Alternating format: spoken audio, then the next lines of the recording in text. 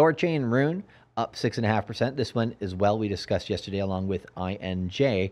And the one thing here you can see on the chart, it does have a low here in June, and it is trying to break out right now, right? And so one thing we've said among a lot of different altcoins this year is if we go above the some of these more recent highs, prior to that breakout is usually a great time to be dollar cost averaging. So for Rune here, right, we've made some good money on this coin. We bought it here in the summer of July 2021 after the hack and, you know, people were really bearish on it.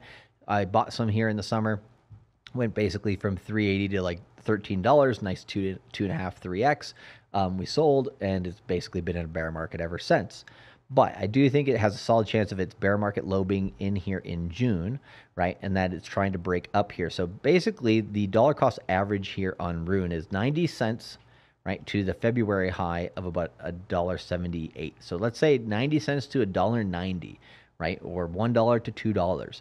That's the area essentially to be dollar cost averaging into Rune, right? And then if it pops above that two dollar mark, right, then it pops up here to like four dollars to twelve dollars, right? Four to twelve dollars, and you're averaging under two, right? So let's say your average price is two dollars, right? The higher end of that. Then you're looking for a two, you know, uh, to what? Uh, what? What did we say? It's twelve dollars, right? You're buying it two. So what? Oh damn, two to six x, fucking good, right? Pretty nice, so doesn't might not break out of this two dollar area that it hit in February. It might not break out of that area until October, right? But it you know it might stay between one dollars to two dollars for a while. It's currently a dollar fifty nine, right? Smack dab in the middle, not a bad price whatsoever, right? But let's look at the chart a little bit on Rune. Uh oh, gave it away. The answer is yes. yes. so Rune here, despite Bitcoin dumping, is hitting a buy fucking signal here this week. All right. Again, Rune is hitting a buy signal here this week, despite this entire market dumping into the shitter. And Bitcoin is what? Heading towards a cycle low. Now, there is risk in this play, right? So this is uh, a part of my choice for a coin prior to the crypto mindset course and this is my choice only right? So don't blame dcc but um, this one here right is looking fucking mighty nice right? Rune is looking good. Um, so let me break it down to you a little in a few different ways right? So um, one one way was particularly if we're looking at it from a bird's eye view right I think there's been enough pain in this bear market that now it's in its accumulation phase. It's been in its accumulation phase in honesty since November of last year. Right? It's mainly been in that that range of one to two dollars, which is why it's kind of boring, right? Um, but I think it's been in that range long enough over the course of uh, what nine months or so that it can break out of there going into Q4 right? So, like I said, going into Q4. So, this is, you know, there's no guarantee Rune pops up here into the crypto mindset course and gives you gains enough to get a discount or to pay for the course, right? But I think it has a chance to do that simply because it is on a buy signal. And some of the buy sell signals have actually been pretty good on Rune, both against Tether and against Bitcoin, right? So, I'm going to take a look at this from multiple angles for you guys, right? And uh, Rod Crypto in the chat, 100% correct, says it's all going to zero, boys.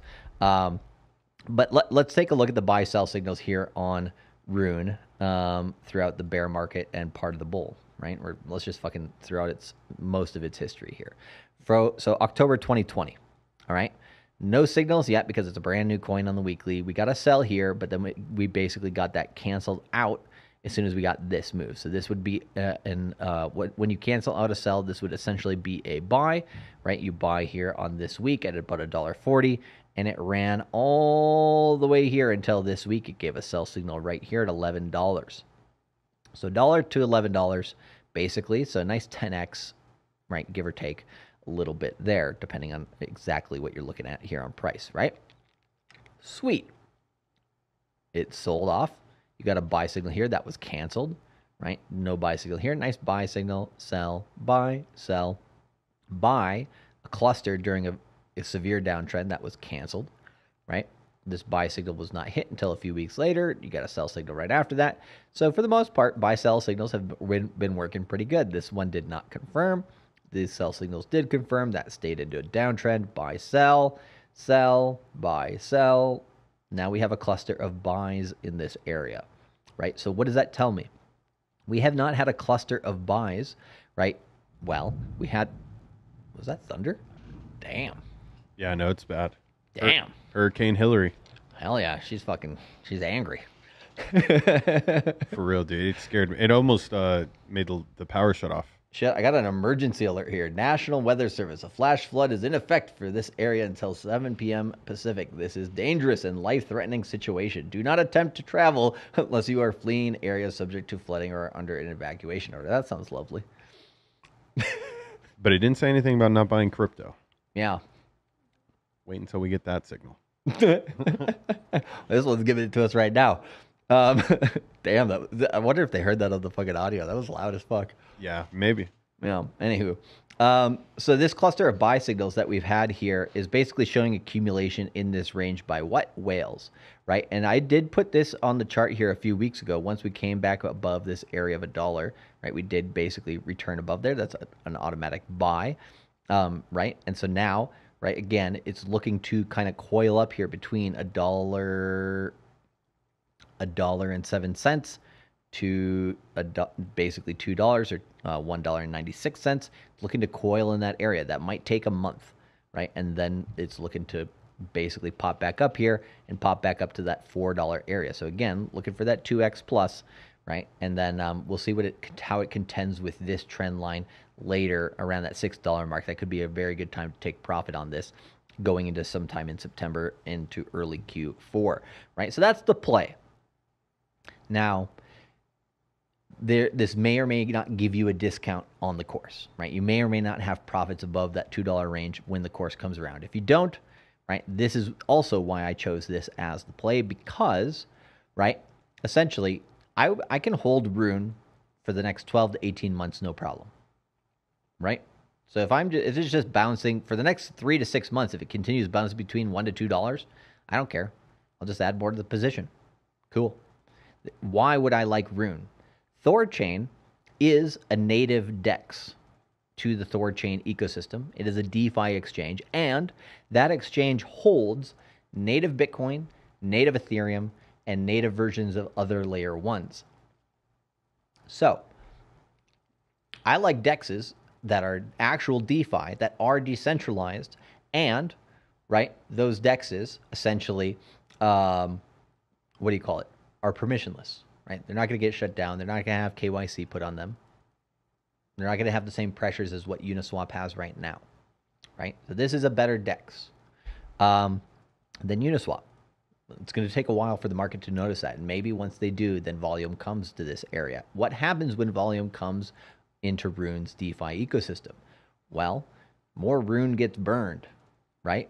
Price go up because it gets more rare right? So this is a solid project at a fundamental level, and it's a long-term hold. So that's the play.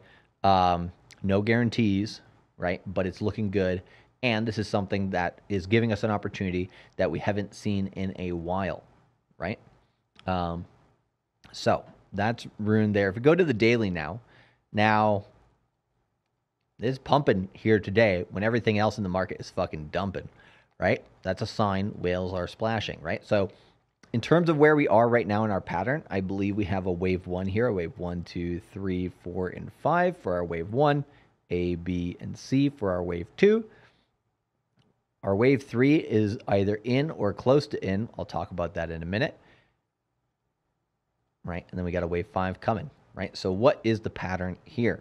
Right, wave one, two. If this is like a wave one, two, three, four, and then five of three, sure, maybe the wave three is not over yet. But what this likely is, right, is we have the wave three in, and let's take that bottom of the wave three to the top of the wave three. Boom. Came back down here and hit what? The 0.382 exactly. Right. Now, the question is, is this going to already pop out? Right. If it if this goes above a dollar sixty seven, the most recent high of a dollar sixty seven, right? That's a buy, right? Because why? It's going to continue up, right? Uh, it's tr- pushing its Bollinger Bands right now. Um, but I putting in a nice buy for about a dollar, maybe a dollar seventy, right? A little bit higher, or dollar sixty nine. There you go, meme it up a little bit, right? Dollar sixty nine, right? I'll put a buy in order in for that because worst thing that can happen is it does hit a dollar sixty nine, right? And then it pops back down here to about a dollar thirty, maybe at worst case scenario back down here to a dollar twenty. What will I do in that case? I'll buy more, right? And then it'll pop up again, anyways. Um, so what is its wave one? 42% increase. What is its wave three? Oh my God, not even a double. I can't wake up for a 2x. Uh, 86% increase, right? And so if we take the top of its wave three to the bottom of the current wave four, what would an increase look like here? A Fibonacci extension, right? Then if we pop up now, right, the next mark here is a dollar, dollar 85, right? Um, so the the upside here in the short short term is, is decent, a dollar eighty five. I would say if you bring it up here, that's more in line with the wave one. The wave five some usually is a little bit more volatile than the wave one. That would give you a little bit of a better mark, and that would be a dollar uh, fourteen. Sorry, two fourteen. Right. So for the current price on a breakout, that would only be a thirty percent increase.